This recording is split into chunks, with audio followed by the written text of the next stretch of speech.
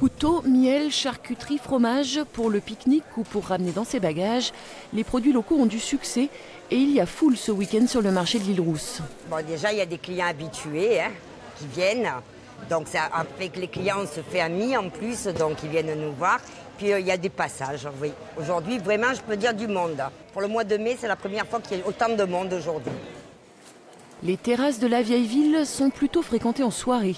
Dans la journée, ceux qui veulent rester au frais choisissent l'ombre des platanes, mais la majorité des touristes sont là pour se gorger de soleil et de plage. Pour les restaurateurs du bord de mer, la fréquentation est nettement en hausse pour ce week-end de l'Ascension. Ici, depuis jeudi, on enregistre une centaine de couverts à chaque service de midi. Il est, arrivé du monde pendant ce week-end de quatre jours.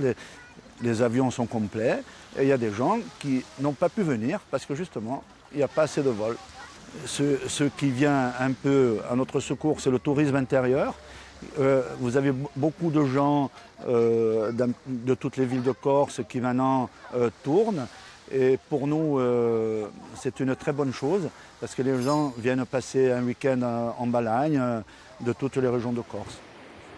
Dans les campings aussi, ça commence vraiment à sentir les vacances. Ici, 25% des emplacements sont occupés et c'est plutôt un bon début. Le mois d'avril, on a toujours euh, le bénéfice des vacances scolaires.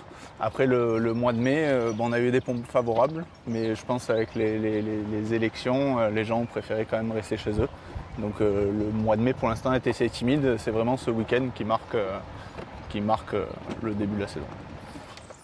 Et la bonne nouvelle, c'est que le week-end prochain sera aussi prolongé d'un lundi férié.